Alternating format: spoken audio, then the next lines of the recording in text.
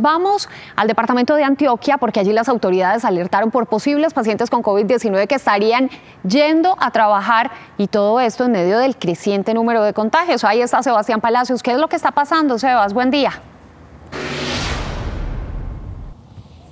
Alejandra, televidentes, mire, es que la situación es preocupante siempre y cuando analizamos el tema del comportamiento social. Han dicho las autoridades e insisten en eso. De acuerdo al buen comportamiento que podamos tener como ciudadanos, pues se podrá seguir con esa reactivación económica, que es lo que tanto han pedido diferentes sectores. Ayer el departamento de Antioquia registró 892 casos, 25 personas que perdieron la vida, una ocupación de UCI del 77.4%. ¿Y por qué hacemos énfasis en esas cifras?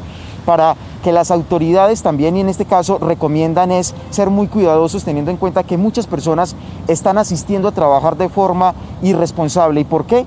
Porque tienen síntomas. Algunos tienen tos, dolor de cabeza, daño en el estómago y una cantidad de síntomas que han dicho las autoridades reflejan la presencia posiblemente del COVID-19. Por eso incluso analizan la posibilidad de sanciones a las empresas que no estén cumpliendo con los protocolos de bioseguridad. Escuchemos a Marta Londoño, que es la epidemióloga de la seccional de salud del departamento de Antioquia, que alertó sobre esta preocupante situación.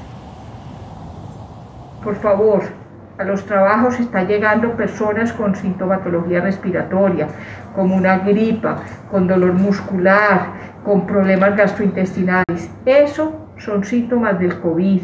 No llegue a su trabajo en esas condiciones. Cuide a sus compañeros de trabajo. Quédese en casa. Evite el riesgo para su trabajo. Llame a la EPS que le hagan el examen y además cuídese en casa cuidando a su familia. 6 de la mañana, 30 minutos, algo en lo que han insistido las autoridades y que es muy importante. Tres elementos necesarios. Uso del tapabocas, desinfección de manos y por supuesto el aislamiento social. Esta fórmula es fundamental para evitar la propagación del COVID-19.